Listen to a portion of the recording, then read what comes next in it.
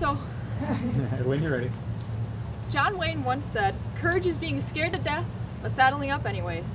I've once had one of my horses fall on me. I got badly injured, but I was back on within a week.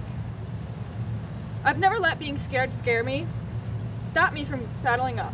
I'm going to show you how to properly tack up a horse so you and your horse don't get hurt and are safe. The first step to this process is the biggest part, the saddle and its extra parts.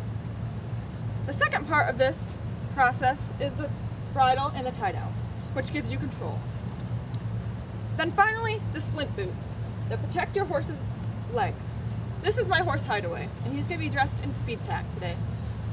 The very first step to this process is the saddle. The saddle is basically lightweight for speed so your horse can run faster. Then we have the cinch. The cinch is what sits on your horse to keep the saddle on. It connects to the latigo, which you have to tie on like this.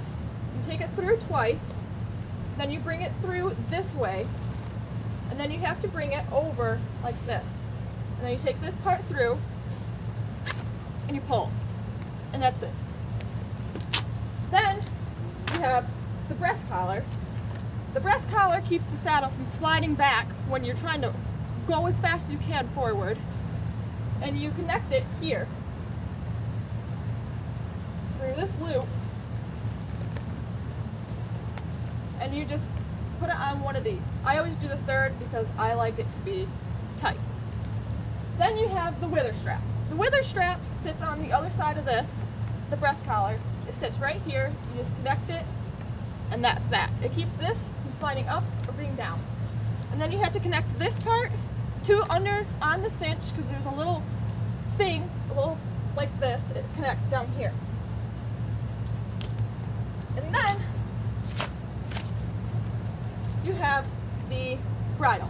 The bridle and the saddle, the bridle and the tie down go together. This is the tie down. It goes over the horse's head.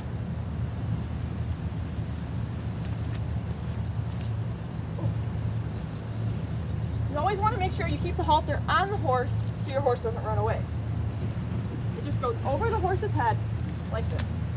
And then it sits underneath the breast collar and then it connects where the, the other part of the breast collar connected between the horse's front legs.